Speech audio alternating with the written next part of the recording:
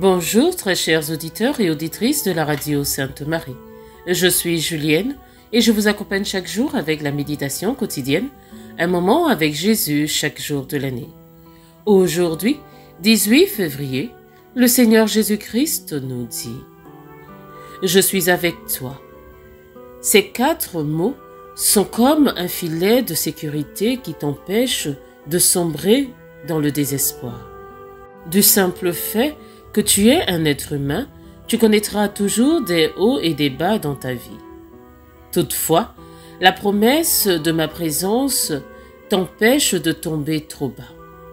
Parfois, tu peux avoir l'impression d'être en chute libre lorsque les personnes ou les choses sur lesquelles tu comptais te laissent tomber. Cependant, dès que tu te souviens que je suis avec toi, ta vision de la situation change radicalement. Au lieu de te lamenter sur les circonstances, tu es capable de regarder à moi pour obtenir de l'aide. Tu te rappelles que non seulement je suis avec toi, mais que je t'empoigne par la main droite. Je te conduis par mon conseil, puis t'emmène dans ma gloire.